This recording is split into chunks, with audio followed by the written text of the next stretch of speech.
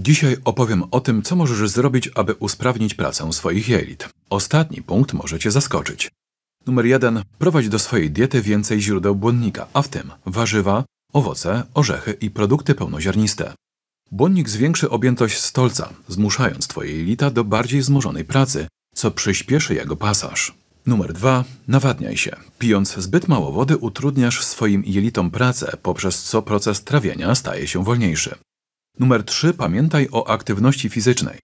Badania naukowe dowodzą, że ruch usprawnia motorykę i perystaltykę jelit. Pomaga skutecznie tym samym uporać się z zaparciami.